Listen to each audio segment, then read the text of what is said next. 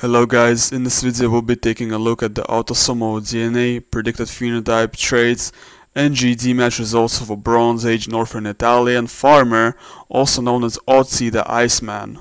This is his predicted phenotype with NOSHACOT and Y-sec. He is predicted to have brown color eyes, Greek-shaped nose and brown hair.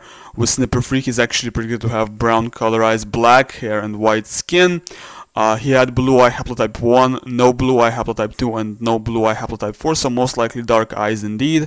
He had some variants in SLC45A2 for lighter skin tone. He did not have the red hair, blue eye, pale skin hunter-gatherer mutation, which is what I call IRF4 mutation. And he's actually got two derived variants in the main variation of SLC4A4. Uh, basically, the implications of this genotype is that he would have lighter color eyes and less likelihood of heterochromia. He's got this very unfortunate genotype in A2M gene which increases the odds of Alzheimer's for him. He's got this genotype which basic, basically leads to worse cell adhesion in neurons and autism. And he's also got this genotype, he's got the no-go learner mutation in DRD2's Pro 19 Pro variation. And I figured that out by imputing his genotype based on his uh, based on his genotype in a SNP that was located close by RS6279.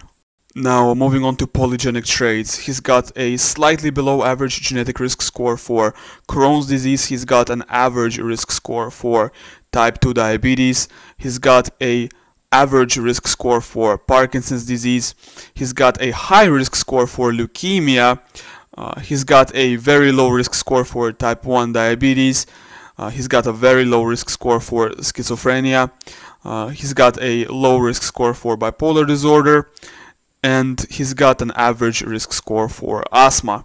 Now let's move on to his GEDmatch results. This is what he scores with Eurogenes K36. Uh, what's surprising to me is he did not score a lot of Basque, he mostly scored Iberian and Italian and West Mediterranean. Uh, so I guess not very similar to Basque people, but rather similar to Iberians, Italians, West Mediterraneans. This is what he scores with Eurogenes K13. Here we can see he definitely does not have any uh, Indo-European admixture, no West Asian, no Baltic, no Indo-European components. And he has a lot of actually Western hunter-gatherer or Northern-like ancestry, which here we can see with the North Atlantic category.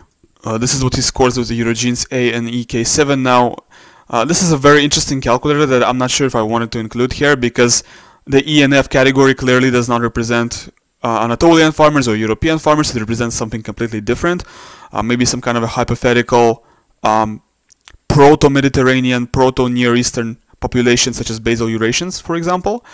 Uh, definitely not actual farmers. With Eurogenes hunter-gatherer versus farmer, he is scoring mostly Mediterranean farm farmer and not scoring any Anatolian farmer. Why is that? That's because Anatolian farmer here is actually not Anatolian farmer, it's actually Caucasus and Iranian ancestry, which he does not have. Here's what he scores with PuntDNAL K10. Once again, another super pure result. You can see he's not scoring any Sub-Saharan, he's not scoring any South Indian, any Oceanian, which means it's a modern, it's clearly a very modern individual with a lot of modern drift.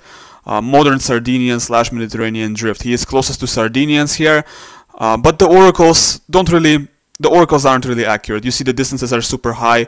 That's because all of these people, all of these populations have more admixtures than just ENF and VHG. This is what he scores with PuntDNAL K10. Uh, here they, you can see they split up the Anatolian components in, into Anatolian, Neolithic, and Near East. So these are two separate components, and he's scoring both of them. He's not very similar to Iceman reference here, actually. Uh, but we all know how GEDmatch and the references, they're so terrible. Uh, he is closest to Remedello Bronze Age, and Remedello Bronze Age is basically this cluster where the Iceman is from, so I'm not even sure how Iceman is supposed to be different from Remedello. This is the result for him we see with uh, Ancient Eurasia K6. We can see he's actually scoring some Ancestral North Eurasian and some Ancestral South Eurasian, which I'm thinking is just uh, some kind of unresolved genetic drift or perhaps just noise because it's not a very high quality file.